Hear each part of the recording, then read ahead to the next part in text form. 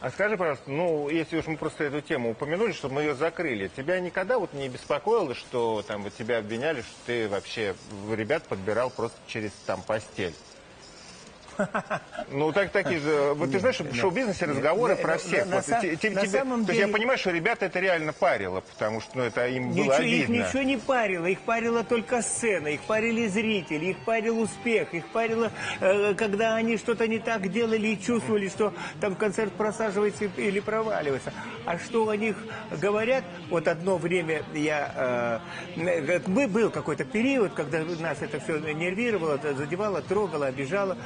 Э, Потом я сказал, категорически не читаем ни газет, ни телевизор не смотрим, ни э, новости.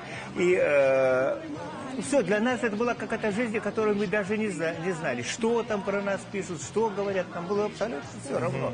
Э, э, скажем, э, что касается голубой темы, то, в общем, это была настоящая конкуренция. В свое время э, создавалась группа Иванушки Интерне- Интернешнл, компания Да. Рек Рекордс. Там был Да. Санька Шульгин и второй Санька, этот, э, м, Горожанкин.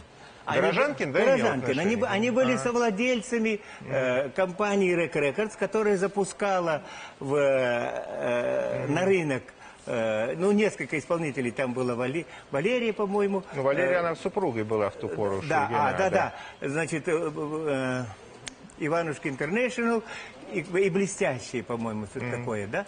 И они запускались, э, эти несколько проектов на, на рынок. А, естественно, Иванушки были прямыми нашими конкурентами. И Горожанкин запускал в эфир, во- ну, чушь, даже дети сидели и комментировали, там детский какой-то у них был, де- детская, э, дискотека, как она, э, детская, э, ну, как-то что-то с диско связано, э, диско-клуб, или, э, и, и обсуждали клип, и, и я же вижу, я сам режиссер, я вижу, как детей научили говорить, как они мило друг, друг на друга смотрят, наверное, не голубые.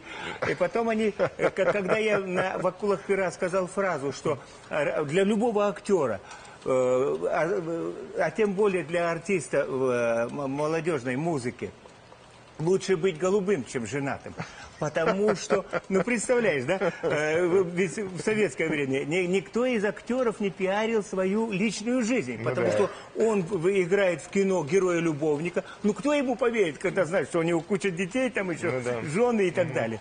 И э, я эту фразу г- сказал относительно э, э, особенно молодежной э, музыки, молодежной му- э, музыиндустрии, что девочка любая пойдет за мальчиком, важно, чтобы он не был женатым. Пусть он будет голубой, она думает, что он исправит. Они вырезали эту фразу, и Горожанкин ее в качестве рекламы акул пера давал 19 раз в час. Ну, Саша молодец, Саша профессионал. Ну, Ну, молодец. Ну, Саша, Ну, Саша молодец, ме- мега профи Ну, был. и, а, я говорю, ну я тоже так считаю, что ну ладно, голубые, пусть думают, что голубые, лишь бы не женаты. А они на самом деле были женаты, у них были семьи, у них были жены, дети. Хорошо, прерву тебя.